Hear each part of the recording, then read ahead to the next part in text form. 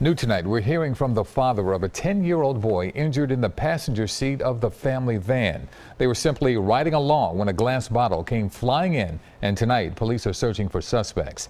This all happened on Lindley Avenue in Philadelphia's Logan neighborhood. Alicia Nieves is at police headquarters tonight, and she spoke with the boy's father about the ordeal and the recovery. Alicia? Well, Yuki, the father of the 10 year old, says that his son had to be taken to the hospital, received several stitches to his face, but he is going to be okay.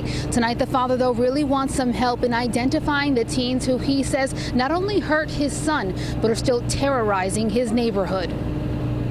Philadelphia police are looking for this group of teens. In particular, the teen seen wearing a short sleeve black shirt with a rooster on it. Authorities have just released this surveillance video showing the group walking down Lindley Avenue in the Logan section of the city last Thursday. The teen with the rooster logo shirt throws a heavy liquor bottle at a moving van. This bottle smashed the front passenger window of the van, hitting a 10 year old boy right in the head. His mother was driving. No, she was, you know, very upset. She, you know, know, she's crying, all that, because my son get hurt, you know. This man who didn't want to show his face is the 10-year-old's father. He says his wife had just left their home. My wife, she took my son, she just tried to go to the park just for playing, you know, just to be fun, you know, get and fun. Then...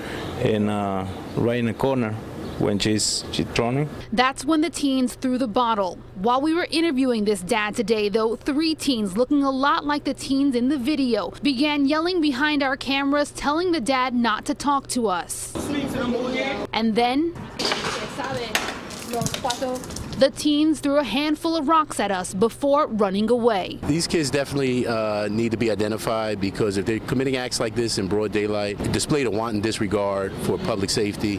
Um, and people oftentimes say, well, they're kids, but this, this act that they committed could have resulted in very dire consequences.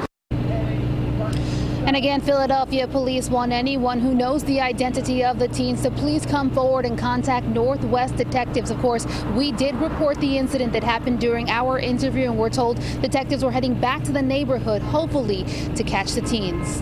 Outside Philadelphia Police Headquarters, Alicia Nieves, CBS 3 Eyewitness News. Alicia, thank you.